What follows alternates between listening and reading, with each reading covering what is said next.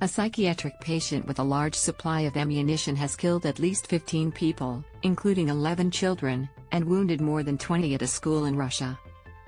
The gunman, who had a swastika on his t-shirt, then turned the gun on himself. Watch the video above, massive explosion tears through shopping mall in Yerevan. Watch the latest news on Channel 7 or stream for free on 7 Plus. The motive for the shooting in Izhevsk, about 970 kilometers east of Moscow, is not clear. Russia's investigative committee, which handles major crimes, said the gunman was wearing a balaclava. It released a short video showing his body lying on the floor of a classroom with overturned furniture and papers strewn on the floor. He was dressed all in black with a red swastika and a circle drawn on his t-shirt. The video also showed the word hate written in Russian on all the gun clips. The gunman was identified as Artem Kazantsev, 34. Udmurtia Governor Alexander Brechalov said the attacker was registered as a patient at a psychiatric facility.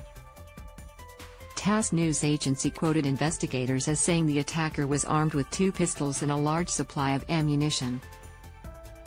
The investigative committee said the adult victims included teachers and security guards at the school for students between grades 1 and 11. It said 24 people, 22 children and 2 adults, were also wounded in Monday's attack. The school has been evacuated and the area around it has been fenced off, the official said. I express my deep, sincere condolences to the relatives and friends of those who died as a result of the cynical and ruthless attack on the school in Izhevsk. IC Chairman Alexander Bastrykin said. The monstrous crime claimed the lives of children, including very young ones, and adults. This is a terrible tragedy, a heavy loss for all of us. Izhevsk, a city of 640,000, is located west of the Ural Mountains in central Russia.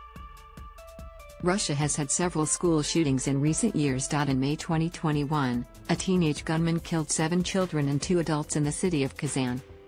In April 2022, an armed man killed two children and a teacher at a kindergarten in the central Ulyanovsk region before killing himself. With AP, if you need help in a crisis, call Lifeline on 13 11 14.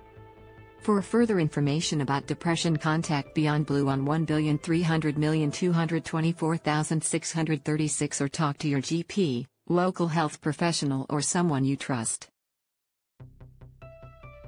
And finally, thank you all for watching the video.